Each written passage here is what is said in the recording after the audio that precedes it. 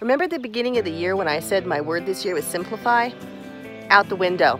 Didn't happen. Still working on the stove. The bees were coming in, you know, ordering season. So Justin made me the most beautiful bee furniture. Uh, we got two hives. Um, and he made me these stands, which I'm going to go right now to the farmhouse to get some stain. I want to stain them before they go out where in the bee area. I'm in love. They're just so beautiful. And then he made me a work table to go with them so I could hang implements or whatever I need to and have a, a spot to put things. I'm so spoiled. I just think it's gorgeous. But Simplify isn't happening because if you notice right back here, there is um, chicken wire. So we need to use some of it under the berry patch fence and we used to use most of it for the, um, I think this is dedicated to the rabbit hutches. I'm not quite sure where the guys are using it. I know it's not on the bottom because we have hardwire and uh, to be honest with you, I couldn't keep up with all the projects, so that's them. And I'll just come by and be big chief and say, yes, no, or whatever I'm supposed to do once I look at it. But it has just been a plethora of stuff. Still have to get the fencing up to get the sheep in. They're coming soon.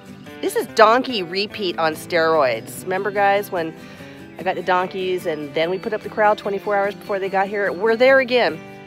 I don't know how it happens. But we've got Big Red to help us now. And Big Red is going to help us in the bee area. Uh, leveling the area out, we're going to put down a layer of diatomaceous earth. Then we're going to put down crusher rock and I think we're going to probably have a little ceremony for my dad. We never had any ceremony because right when he passed, we were in the process of moving here. Then mom wanted to come, so we got mom out here and we had decided he was a lover of bees. He taught me about bees. I'll put my hand out, they'll land. I don't have a concern about them pinching me. Um, so we thought we'd put him to rest with the bees. So we're going to have a little ceremony after that's all done. That's why I'm rushing to get all of this finished. I'd like to, to finally have him be where he needs to be. And mom will be able to see him from her front room or front deck every single day. So that's kind of cool. Anyway, lots of buzzing activity here. Need to also get in and do some more masks. So it's it's been it's been busy to say the least. I hope all of you are keeping busy too. Let's see what's coming next.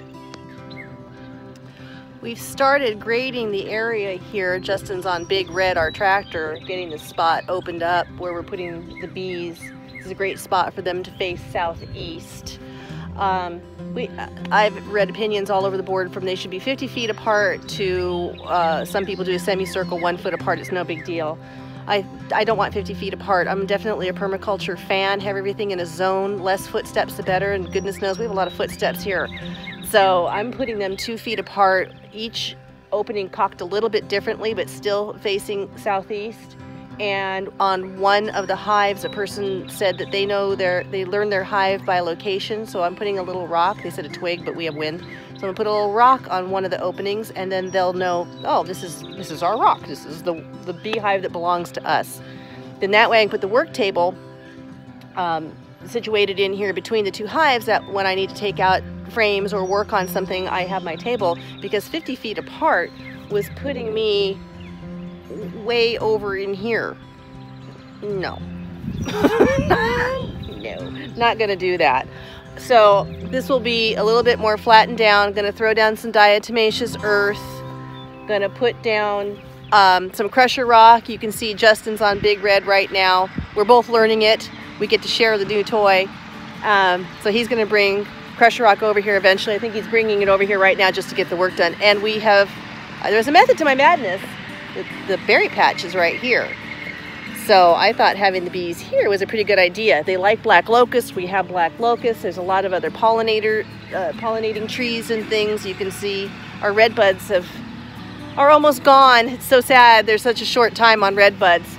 So there's the beginnings of that. Let's uh, continue on and, and get our bees established today. The paint's drying on the hives. Timing's everything. As you can see, the setup is in. That white stuff is diatomaceous earth to keep little crawly things from crawling up or at least giving the bees a chance that the crawly things crawl through the diatomaceous earth and aren't able to crawl up. So I'm gonna go check on the hives and see if they are dry yet because I would like to get these guys in sooner than later. Having a tough time finding my apiary outfit in the storage uh, known as the farmhouse. Hopefully we can find that. We're going to give it about another hour search. If not, it'll just be long sleeves uh, to get these guys in. I read if you sprinkle a little water on them, it dampens their leaves, they leaves their wings. They can't fly, and that's would be probably our, our alternative to uh, having a suit. So, got to do what you got to do.